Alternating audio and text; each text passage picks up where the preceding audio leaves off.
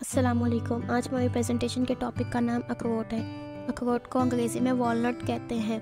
अखरोट protein vitamin और मादनियात से भरे हुए होते हैं, जो अच्छी सेहत को फ़ोक देने में कारआमद है। अखरोट में मौजूद फैटी एसिड दिल की सेहत की, दिल की सेहत को बेहतर बनाने में मदद देता है।